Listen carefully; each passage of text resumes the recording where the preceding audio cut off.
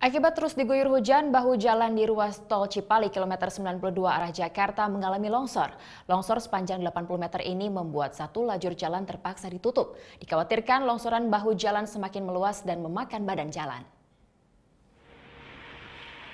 Bahu jalan yang mengalami ambles terjadi di ruas tol Cipali kilometer 92, tepatnya di Kampung Kareo, Desa Caracas, Kecamatan Kalijati, Subang.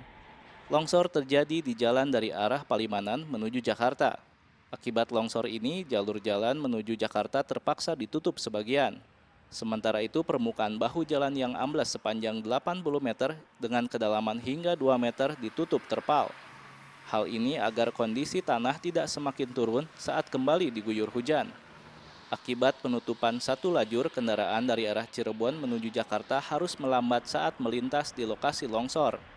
Amblesnya bahu jalan akibat longsor juga membuat pagar pembatas jalan turun dan rusak parah. Tanda-tanda longsor telah terjadi sejak Jumat lalu dan semakin parah pada Senin dini hari. Sejauh ini belum ada keterangan resmi dari pengelola jalan tol Cipali terkait penyebab maupun penanganan pasca longsor. Iman Budiman melaporkan untuk NET.